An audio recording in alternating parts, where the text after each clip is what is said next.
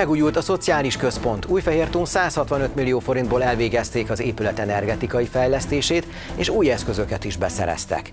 Mérséklődő növekedés, éves összehasonlításban 10%-kal emelkedett a normál használatú személygépkocsik kötelező felelősség biztosításának átlagos éves díja.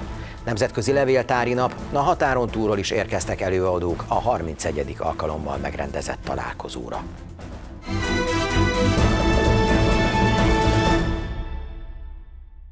Teljesen felújították az Újfehértói Szociális Szolgáltató Központ épületét. A Kölcsei Televízió híradóját látják. Köszöntöm Önöket! A fejlesztéshez az önkormányzat a Top Plus pályázat keretében nyert támogatást. A nyertes pályázat költségvetésének egy részét az épület megújítására fordították, a fennmaradó részből megoldották az energetikai fejlesztést, de eszközbeszerzése is jutott az elnyert 165 millió forintból. Átadták a megújult szociális központot Újfehértón. A Top Plus pályázat keretében a város önkormányzata 165 millió forintot nyert, amelyet a település szociális infrastruktúrájának fejlesztésére használtak fel. A nyertes pályázatnak köszönhetően a Szociális Szolgáltató Központ épülete teljesen megújult, és a rendelkezésre álló összegből új bútorok és elektronikai eszközök beszerzése is megvalósulhatott. Maga ez az épület a 70-es évek végén épült, és nagyon sok funkciója volt már az évek során. Ugye 2009 óta látja el a jelenlegi feladatát. 2020-ban kaptam a kérést az intézménytől, hogy próbáljunk meg valami forrás szerezni arra, hogy az épület megújulhasson, hisz már nagyon elavultak voltak a, a berendezések, az épület is folyamatos problémákkal küzdött, és hál' Istennek találtunk egy pályázati lehetőséget, amelyből Magyarország kormányának támogatásával egy gyönyörű új épületet tudtunk varázsolni, és úgy gondolom, hogy ez most már egy nagyon sokáig el fogja látni azt a feladatot, amelyre, a, amelyre szántuk, és örömet fog okozni az itt dolgozóknak, ide látogatóknak, és aki elmegy itt az utcában, az is egy gyönyörű épületet fog látni. Az elnyert összegből 90 millió forintot fordított az önkormányzat az épület fizikai megújítására a környezettudatosság figyelembevételével, míg az összeg másik részéből az eszközbeszerzés mellett új szolgáltatásokat is bevezettek. Az épületek kívülről belül teljesen megújult. A új tető került, napelemek kerültek a tetőre, a homlokzat megújult, 15 centis szigetelés került a homlokzatra, a új fűtési rendszer, szellőztető rendszer több millió forintért, ami biztosítja a épület teljes szellőztetését, bútorzatokat teljesen újat kaptunk, informatikai eszközöket, az udvar, a kerítés újat építettek az udvarra, mozgáskorlátozott parkolót építettek ki, parkosítás, új kemence, főzőhely került az udvaron kialakításra. Az épületben hétfőn már újra beindul az élet, és valamennyi szolgáltatással várják az ellátottakat a megújult szociális intézményben. Itt háromfajta szolgáltatás működik ezen a telephelyen, idősek nappali ellátása 60 fővel, pszichiátriai betegek nappali ellátása 50 fővel, és pszichiátriai betegek közösségi ellátása 40 fővel. Napi szinten ezek az emberek, szóval azt lehet mondani, hogy egy ilyen 110-120 ember napi szinten megfordul az épületben. A településen élők közül sokak számára ez az intézmény teremti meg a lehetőséget ahhoz, hogy egy igazi közösségben érezhessék magukat a mindennapokban. Minden héten jövünk csigázni, ünnepségek vannak, névnapok, karácsonyi ünnepség, húsvétkor, de közben is vannak mm, különböző slambucfőzés, gulyásleves. Szóval ez annyira kell, mint a mindennapi kenyér. Mert mi már idősek, hát hova járunk? Csak egy ilyen helyre, ahol egymást ismerjük, szeretjük, és mindig vágyunk is ide, vártuk, hogy megnyíljon. Itt járok el minden nap, és csodáltuk, hogy újul, szépül. Mint Hosszú József polgármester elmondta, Újfehértó város igyekszik a különböző szociális helyzetben lévőknek segítséget nyújtani az önkormányzaton, illetve az intézményen keresztül. Többször bántalmazta élettársát a büntetett előéletű Szabolcsi településen élő gyanúsított, ezért a Nyíregyházi Járásbíróság nyomozási bírója egy hónapra elrendelte előzetes letartóztatását. A megalapozott gyanú szerint KC gyanúsított és élettársa 2024. szeptember 13-án az otthonukban ittas állapotban szóváltásba keveredtek. Ekkor a férfi hideg vízzel leöntötte a párját, majd kezét és lábát is összekötözte. Másnap ismét vita alakult ki közöttük, melynek hevében a gyanúsított két alkalommal beleütötte a sértett fejét a radiátorba. Megragadta a nő haját, ezt követően a ház pincéjébe zárta, majd az ajtót még egy farönkkel is eltorlaszolta. A sértetnek azonban sikerült a pince ajtót kinyomnia és elmenekülnie az ingatlanból. A gyanúsított letartóztatását a bíróság a bűnismétlés, valamint a bizonyítás megnehezítésének veszélyére tekintettel rendelt el. A végzés végleges, az ellen senki nem jelentett be fellebbezést. Friss adatokat közölt a Magyar Nemzeti Bank a személygépkocsik éves díjának, illetve a többi járműosztály átlagdíjainak éves és negyedéves változásáról. 2024 második negyedévének végén 57 ezer forint volt a személygépkocsik kötelező gépjármű felelősségbiztosítási átlagos éves díja. Ez 1,6%-os növekedést jelez az előző negyedéves értékhez képest. A Magyar Nemzeti Bank színes grafika segítségével mutatja be honlapján azokat a friss adatokat, melyek a személygépkocsik éves díjának, illetve a többi járműosztály átlagdíjának éves és negyedéves változását jelzik. Az NMB 2021-től negyedévente teszi közzé a díj és a kár alakulását bemutató indexét. Régen évente változott, évente hirdettek meg kötelező felelősségbiztosítást a biztosítók, hiszen december 31-je volt a gépjárművek kötelezőinek a fordulópontja. Aztán 2010-ben változott ez meg, itt már negyed évente, tehát 60 naponta, nem is negyed évente, 60 naponta jönnek ki új biztosítási árakkal a biztosítók kötelező biztosítás terméknél.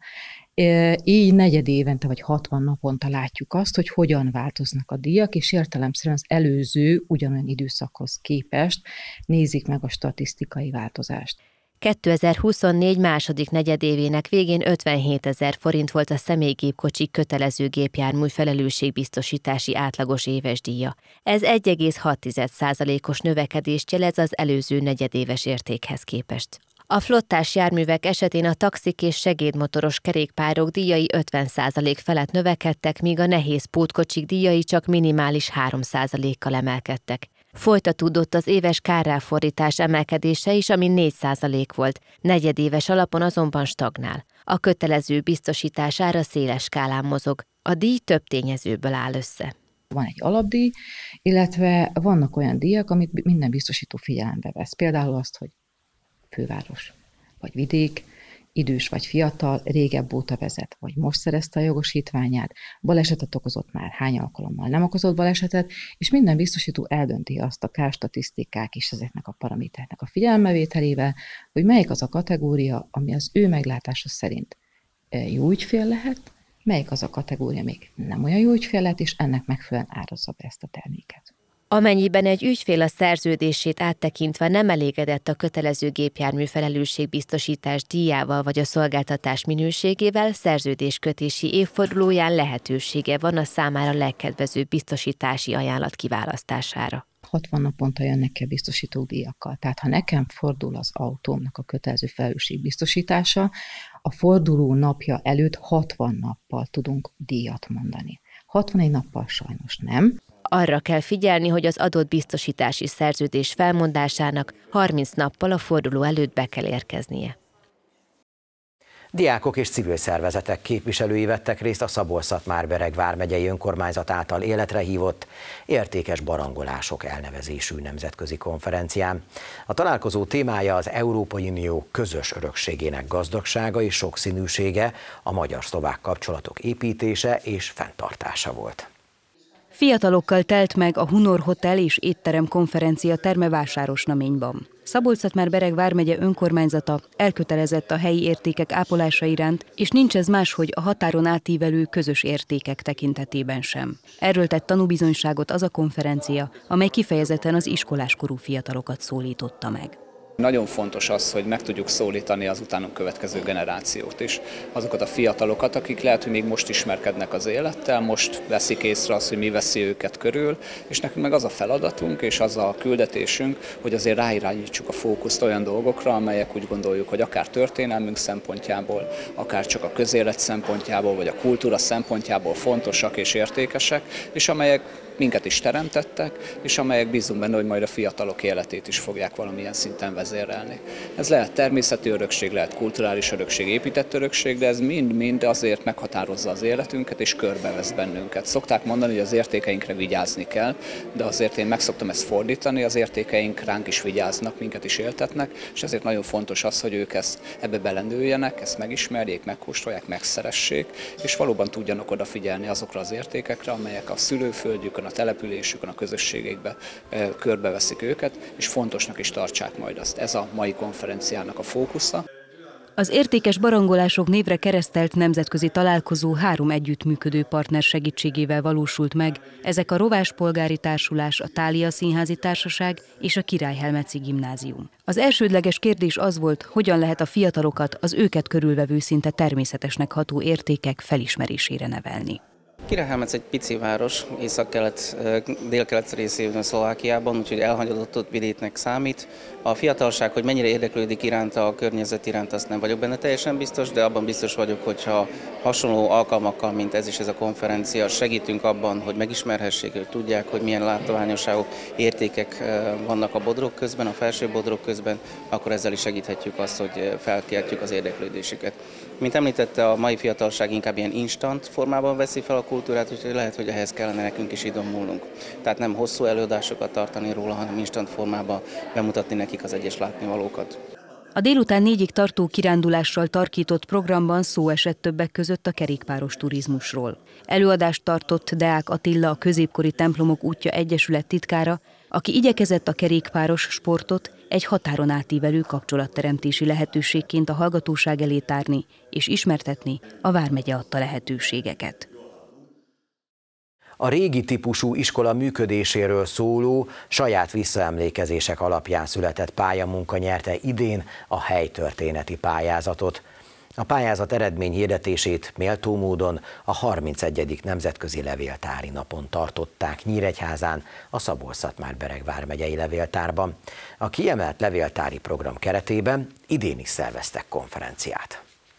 A Nemzetközi Levéltári Nap a legfontosabb rendezvény a Szabolcs-Szatmár-Bereg vármegyei levéltár éves program tervét tekintve. A levéltár épületében megrendezett konferenciára ezúttal is érkeztek vendégek a határokon túlról is. A megyei önkormányzat is bekapcsolódott ebbe a munkába, amíg fenntartóként közreműködött ebben a tevékenységben, és valóban határon túli pályázatokkal igyekeztünk az a munkát elősegíteni, hogy digitalizáljuk ezt az anyagot, amely a magyar múlt megismeréséhez elengedhetetlen. Ebben közreműködtünk, és hát minden alkalommal, akár a megyeházán, városházán, itt szívesen jövök el a levéltári napokra, hiszen történész végzettségű vagyok, és ezért is hát látszik, hogy érdekel a magyar múlt, a múltunk feltárása, hiszen ebből épül a jövőnk, és gratulálok az itt végzett munkához. Fantasztikusak a hely történeti pályázatok, a itt megszólaló szerzők, nagy élmény minden egyes alkalommal ez a munka is. A Pro Archivó emléklapok átadása után kihirdették az idei helytörténeti pályázat eredményét is, amelyet még tavasszal írt ki a Levéltár, a Múzeum, a Könyvtár, a Honismereti Egyesület, a Nyíregyházi Egyetem Történettudományi Intézeti Tanszéke és a Szabolcs-Szatmár-Beregi Szemle szerkesztősége. A zsűri döntése alapján harmadik helyen a mindössze 16 éves Opsitos Miklós végzett, a botanikus kert múltjával és jelenével foglalkozó dolgozatával, amely mint egy felhívás a kert megmentése érdekében.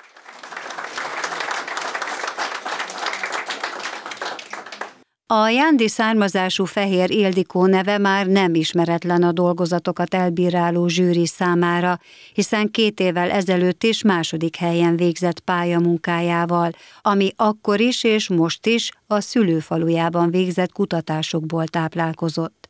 Az idén a penyigei Kormány Margit néni saját visszaemlékezéseiből született írását találták a legjobbnak.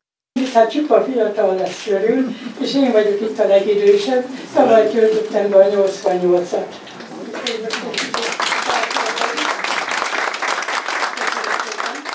Rengeteget írtam, elsősorban a levéltárnak, de nagyon sokat más helye, újságokba írtam, magam is szerkesztettem a Szenke újságot. Rengeteg olyan témám volt, van és lesz, úgy érzem, mert most is hármat is csinálok egyszerre, gyűjtőmunkát, kutatok, gyűjtök, és akkor azokat megírom.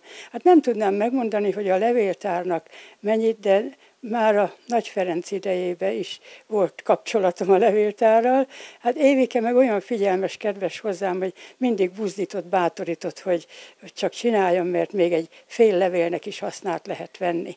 Az egyébként budapesti születésű, de 68 éve Penyigén élő Margit néni nyertes dolgozatában a régi típusú iskolai működésről írt. Az eredményhirdetést követően kezdetét vette az a konferencia, amelynek első előadásában már a jövőbe tekintő kutatási módszerekről hallhattak az érdeklődők. Egy olyan előadást hoztam, amiben szeretnénk bemutatni, hogy az elektronikus változás a levéltárakban mennyiben segíti a témák feldolgozását. Szeretném bemutatni azokat az új szolgáltatásokat, amiben majdnem 10 millió digitalizált oldal, több mint 100 adatbázis segíti az adatfeldolgozást, és hát szeretném bemutatni, hogy az új generációra is számítunk, hogy már mobiltelefonon is, meg adatvizualizációval is elérhető levéltári tartalmakat mutatunk be a legkülönfélébb témákban. A 31. Nemzetközi Levéltári Napon hét előadás kapott helyet a Konfliktusok és Megoldások című konferencián.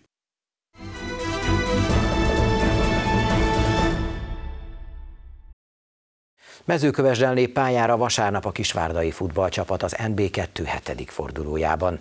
A hazaiak a tabella utolsó helyén, a vendégek pedig a hatodik helyen várják a folytatást.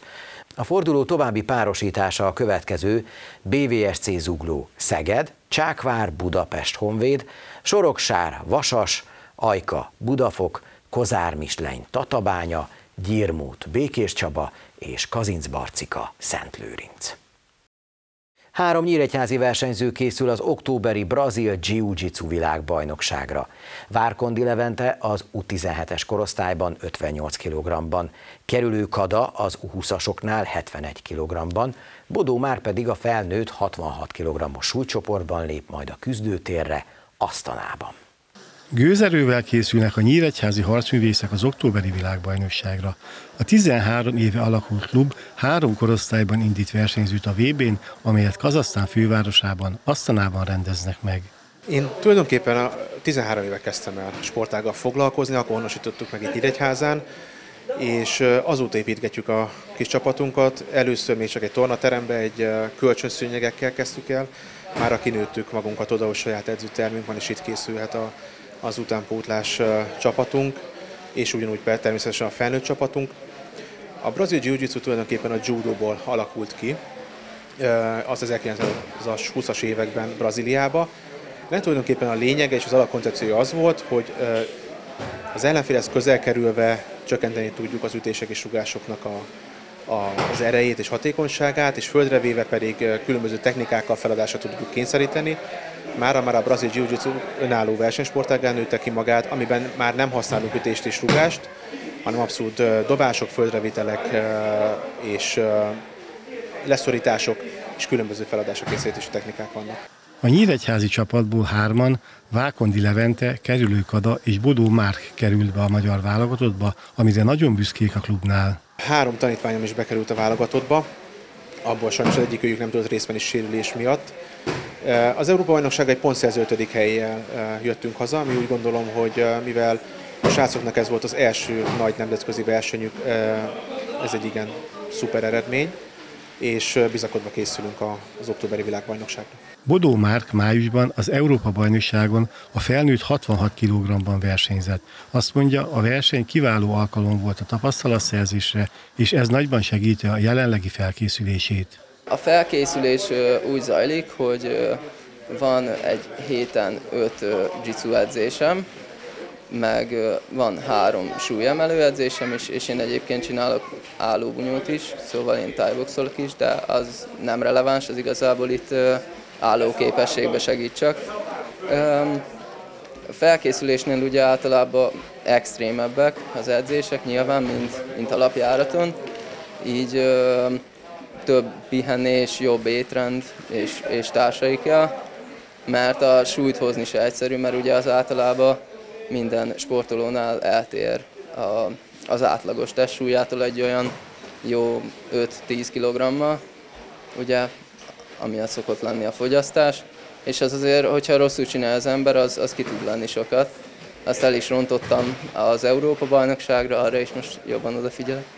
Az ERT Nyíregyháza hat éves kortól edzi a gyerekeket, így módon gondoskodva az utánpótlásról. Halász Dávid azt is elmondta, az utánpótlás csapat nagyon erős, számtalan diák olimpiai és magyar bajnoki címmel büszkélkedhetnek. Kedves nézőink, iradónk végén jöjjenek főpíreink még egyszer néhány mondatban. Befejeződött a Szociális Infrastruktúra Fejlesztése Újfehértón című projekt megvalósítása. A nyertes Top Plus pályázat lehetővé tette a településen működő Szociális Szolgáltató Központ épületének teljes körű felújítását. A város önkormányzata 165 millió forintból gazdálkodhatott a projekt során. Éves összehasonlításban 10%-kal 57 ezer forintra emelkedett a normál használatú személygépkocsik kötelező gépjármű felelősség biztosításának átlagos éves díja. Folytatódott az éves kárráfordítás emelkedése is, ami 4% volt. A flottás járművek esetén a taxik, valamint a segédmotoros kerékpárok díjai 50% felett növekedtek. 2024-ben már 31. alkalommal rendezte meg a Nemzetközi Levéltári Napot a Szabolcs-Szatmár-Bereg vármegyei levéltár. A közgyűjtemény kiemelt programjában a Konfliktusok és Megoldások című konferencia előtt átadták a Pro Archívó emléklapokat és kihirdették az idei helytörténeti pályázat eredményét is.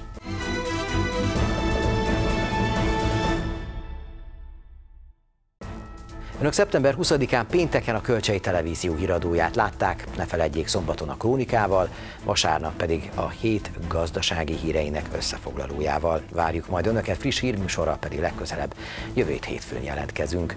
Addig is látogassanak el weboldalunkra, ha van kedvük és idejük. Én már a munkatársaim nevében is köszönöm figyelmüket, jó hétvégét, viszontlátásra!